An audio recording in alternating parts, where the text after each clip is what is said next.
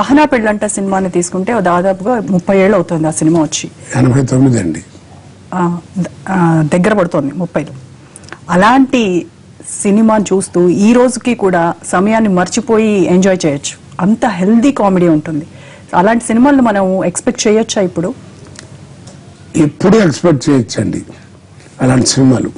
కానీ రాసేవాడేడి ఒకవేళ రాసిన చేసేవాడేడి తీసేవాడేడి ద గ్రేట్ జంజాల అతను ఏం మామూలు రైటరా శంకరాభరణం రాశాడు. ఇది రాశాడు.